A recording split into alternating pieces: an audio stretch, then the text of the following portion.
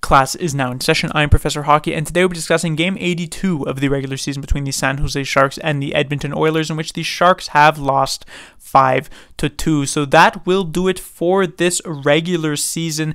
All 82 games in the books, and this one ends just as it started with a San Jose Sharks loss. And I'm sure I speak for a lot of fans when I say I am glad that this season is finally over, not only because this was one of the worst seasons in franchise history for the San Jose Sharks, finishing fourth last or potentially even third last in the league, but on top of that, this was also an extremely boring season for the San Jose Sharks, as it was much more of a transitional year for the organization. The first year with Mike Grier at the helm, and his basic idea for the San Jose Sharks this year was to play all of the veterans and allow pretty much every possible young, exciting talent to, uh, I guess, uh, marinate in a way in junior leagues or minor leagues or things like that. And so we only ended up getting to see players like Eklund, like Bordeleau, like Gushchin, all of these types of younger talent very, very late in the season. And we had to go through, you know, 60 plus games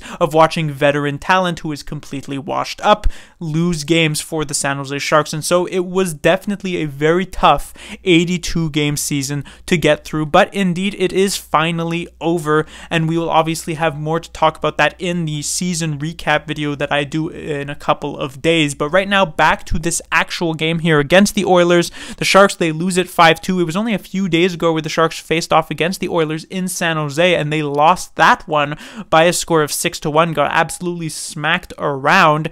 And so here tonight, it was definitely at least a slight improvement in that. They get two goals and they let in one less.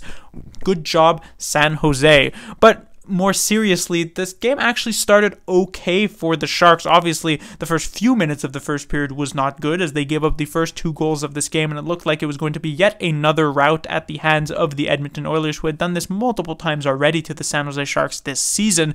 But they actually fought back in this first period. Not only would they cut the lead in half with a goal by Noah Gregor, but at the end of the 20 minute first period, they would actually be having the edge in shots with 14 to 13. And so we thought, you know, maybe the San Jose Sharks, they could make this game rather interesting to give Sharks fans a fun one to watch to end off this season. But that does not end up being the case. Not only do the Oilers end up running away with this game through these last couple of periods, but the Sharks put up an incredibly uninspired and lifeless performance here. In fact, in particular, this third period may have been the worst third period of the entire season for San Jose. Not because they've given up so many goals or anything like that. They've had worse periods in terms of goals given up, but in terms of actual effort, it was pitiful to watch from a Sharks perspective. So in that second period, it goes to a 4-1 lead for the Oilers. Lorentz would get one back on the power play near the end of the second to make it 4-2.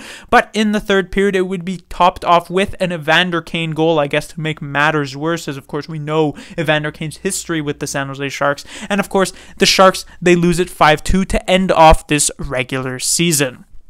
Now, moving on to the standings. It was a couple of days ago where we found that the Sharks would not be able to finish last place in the league due to the loss of the by, by the Anaheim Ducks to the Vancouver Canucks. Since the Sharks have the tiebreaker against Anaheim and the Ducks can only reach 60 points, the Sharks cannot possibly finish below them. So, second last is the best that they can hope for. But here tonight, we found that that, that is also off the table, and that is because the Blackhawks were losers in overtime to the Philadelphia Flyers. A pretty tough loss for them. They come into the last couple of minutes of the third period down by one, tie up that game, head to overtime, and I ended up watching the vast majority of this overtime instead of a few minutes of the third period for the San Jose Sharks, and I clearly did not miss much compared uh, just watching how they actually played in that third period. And so in this overtime, Jonathan Toews in his final game as a Chicago Blackhawks, potentially his final game in the NHL, gets a breakaway from center ice. It would have been the perfect storybook ending, fairy tale ending to his illustrious three Stanley Cup career, but it doesn't end up happening. He doesn't score on the breakaway, and to make matters worse, just a few seconds later,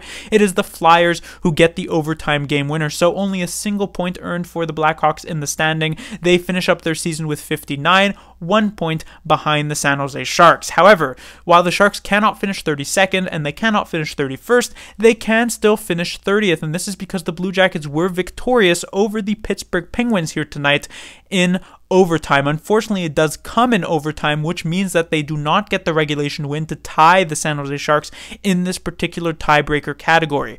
What this means is that while the Blue Jackets are only a singular point behind the San Jose Sharks, they need both points in their final game against the Buffalo Sabres tomorrow if they are to pass San Jose. An overtime loss would not get them there because the Sharks hold the first tiebreaker, which is regulation wins. Now, whether this win comes in overtime or in regulation, it does not matter but they have to win that game for the Sharks to get this third last spot. And this is pretty important, not only because it is better odds in the Connor Bedard sweepstakes, as fourth last gets 9.5%, while third last gets 11.5%, but this also means that the Sharks can finish at best fifth in the draft lottery compared to sixth, because right now it's very possible they drop down to sixth, but in that third place spot, dropping down to fifth is much preferred. The higher you up are in this heavily skilled draft, the better, because you can get that pick of the player that you want. Moving on to the players to talk about here on the top line, we had Hertl, Couture, and Peterson kept together once more. There has been a lot of line juggling happening over this three game road trip, but the one line that has remained constant is this top line loaded up.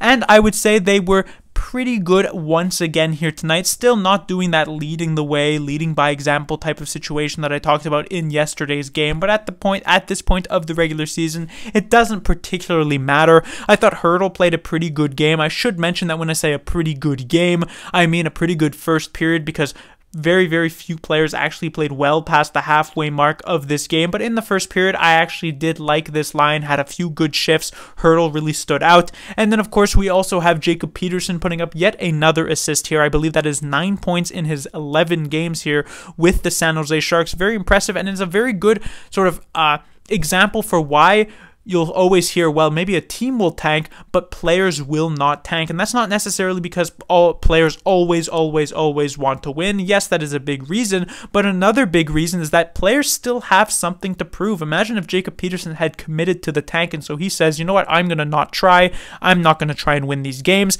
And he ends up with zero points over these 11 games. Well, it's very possible he doesn't even end up on an NHL roster going into next season. But now, with these nine points in those 11 games, suddenly he not only is he a very real option for the San Jose Sharks, but there also could be some eyes around the league on him at this point as a potential, you know, bottom six forward elsewhere. So a good end of the season for Jacob Peterson and a good example for why players will try usually until the very end. When it comes to the second line, we had Lorentz with Bordeleau and Gregor. Now, of course, I was quite harsh on Thomas Bordeleau in my review yesterday, talking about how he was potentially the most disappointing prospect for the San Jose Sharks thus far in that season because he really hadn't shown much in his short stint with the San Jose Sharks this year, especially considering his eight games were so successful last year. But this was a fantastic way for sure for him to end off this season. His best game definitely by far plays on the second line the best line for the San Jose Sharks on the game was very, very good in the first period. Ends up with a primary assist on the Noah Gregor goal, and was also one of the only players who on the San Jose Sharks who was actually noticeable past the halfway mark of this game. So a great confidence builder game for Thomas Bordeleau going into the off season and eventually into training camp and preseason in a few months. We'll see if this will help him sort of get his head on straight and come back stronger next season. And then when it comes to the other winger on this line, Noah Gregor, he gets this goal here. That gives him the double digits on the year, 10 goals for himself. A fantastic end of the season for Noah Gregor. It's just hard to predict where his career goes from here because this is not the first time that we have been impressed with Noah Gregor. He has been on the team for a couple of seasons now, and he always has these spurts of plays where he look or these spurts of games where he looks very good, and yet it never really seems to last. And so it's possible that the Sharks give him yet another opportunity to prove himself in the lineup. And with how this season finished off for him, I imagine he does get that opportunity. But will this finally be the moment where Gregor jumps in and actually is able to play a strong and solid full 82 game season?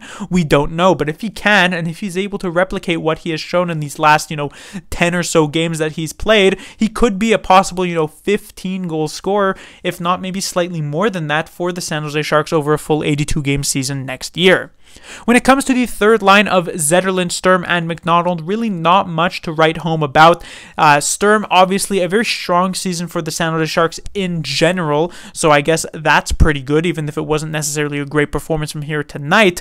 On the other hand, Zetterlund, a not great performance for the San Jose Sharks in the small part of the season that he has played, was picked up as a potentially major piece in the eyes of Mike Grier from the Timo Meier trade deal, and he has not panned out at all.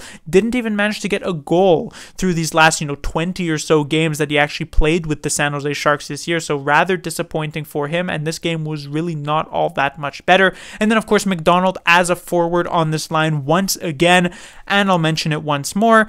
I'm happy to see him as forward instead of defenseman.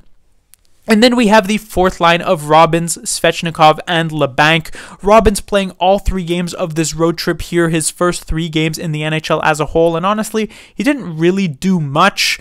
There isn't necessarily a ton of negative to say about him, but also not a ton of positive, so it'll be much more up to how he does in training camp and preseason next season to see if he'll actually be able to make the team or if he's just going to be, you know, sitting in the AHL at least for another year.